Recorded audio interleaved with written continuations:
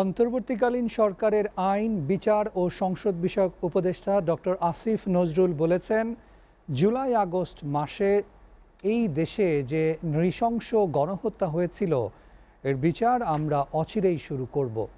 ন্যায় বিচার নিশ্চিত করতে সরকার বদ্ধপরিকর বলেও বদ্ধপরিকর বলেও জানান তিনি। বিকেলে সিরাজগঞ্জের বিভিন্ন পূজা মণ্ডপ পরিদর্শনের সময় তিনি কথা বলেন।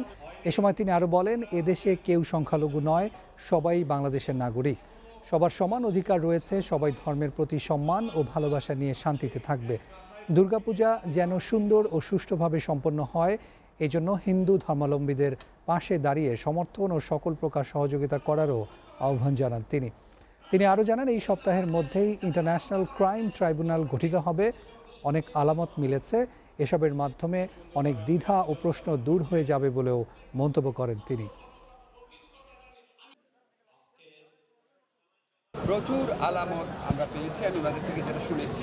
এবং অচিরেই আমরা যখন এই গণহত্যার বিচার, এই যে পৈশাচিক গণহত্যা হয়েছিল জুলাই, অগাস্ট মাসে, এই বিচার যখন আমরা অচিরেই শুরু করব, তখন দেখবেন আমাদের অনেক দ্বিধা, অনেক প্রশ্ন দূর হয়ে যাবে।